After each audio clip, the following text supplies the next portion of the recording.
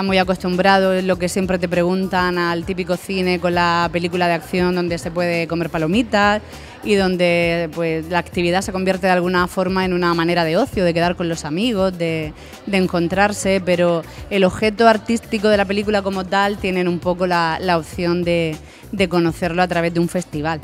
Y también me parece importante que, los festivales de cine, que las actividades culturales que, son típicas de una ciudad sean conscientes de, la importancia de, la educación, que también de alguna manera tenemos Em, esa funcionalidad de, ayudar a que los jóvenes conozcan el cine y, lo amen de alguna manera. Bueno, algo muy importante ya que los ayuda a ellos a interactuar, a integrarse, a conocer eh, a través de, las sensaciones que puede dejar este tipo de películas y, ser algo de aprendizaje para ellos.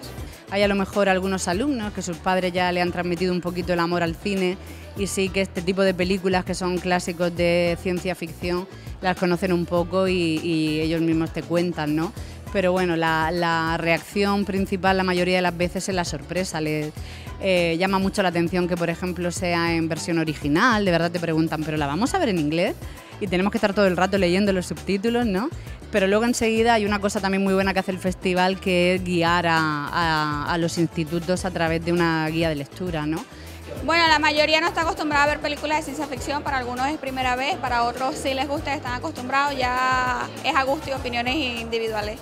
Entre los centros educativos y los festivales podemos aliarnos para, para sostener un poco el pilar de la educación, que esto es una cosa de todos.